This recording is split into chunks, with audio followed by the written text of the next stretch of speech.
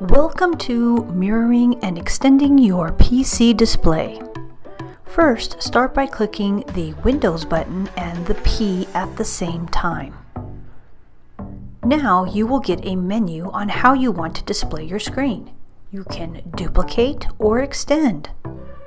Let's start with duplicate. Duplicate is the same as mirror, so what you see here on my Windows screen, you will see on the big screen. If I extend my screen, it's like I'm giving myself two monitors.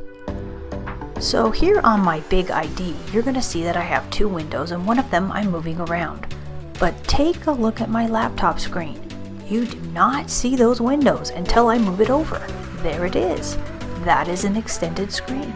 I'm going to move it back over to the ID. And that is the process for duplicating or extending your screen on a Windows machine. Thank you for watching.